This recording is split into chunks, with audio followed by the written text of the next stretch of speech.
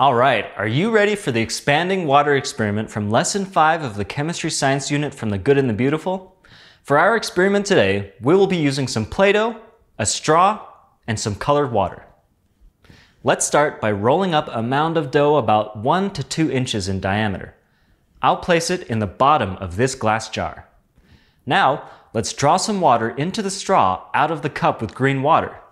Put your straw into the water, then place your thumb over the top to create suction. Keeping your thumb over the hole, move the straw out of the cup and place it firmly in the center of the Play-Doh. There we go. Now, I'm going to mark the top of the water line on the straw by drawing a line right here. All right, this whole thing is ready to go into the freezer. But before I do that, you get to make a hypothesis about what you think will happen to the water line as the water in the straw completely freezes.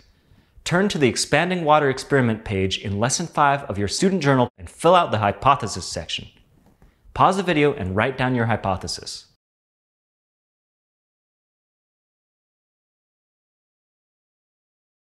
Okay, I'm going to get this into the freezer and then I'll meet you back here in about an hour and a half.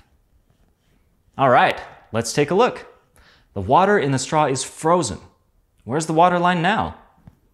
It is definitely above the mark we made earlier. Why do you think that happened?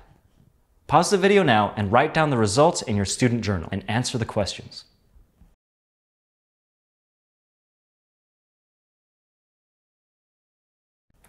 Because water expands when going from a liquid to a solid state, the frozen water level was higher than the liquid water level. All right, I'll see you next time.